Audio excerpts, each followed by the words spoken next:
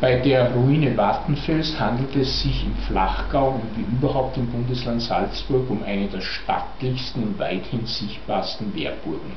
Schon allein begünstigt durch die natürliche Lage auf einem Felsvorsprung stehend, hatte sie die Aufgabe einer reinen Wehrburg, das heißt auch, dass sie vom Komfort und der Innenausstattung eher bescheiden eingerichtet war die Burg wurde 1259 von Konrad von Kalham errichtet und hatte die Funktion, hier für den Fürsterzbischof eine Außenstelle in Kriegsbereichen usw. Zu dienen.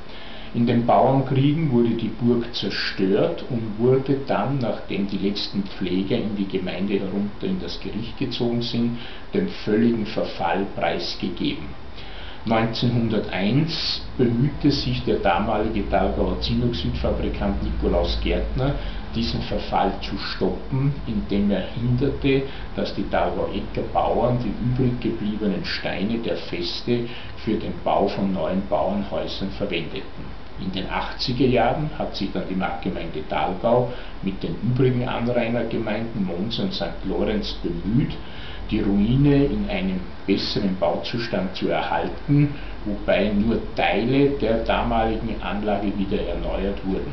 Heute ist die Ruine ein beliebtes Ausflugsziel und bietet einen weithin prächtigen Überblick über die ganze Seenlandschaft bis in den Chiemgau hinaus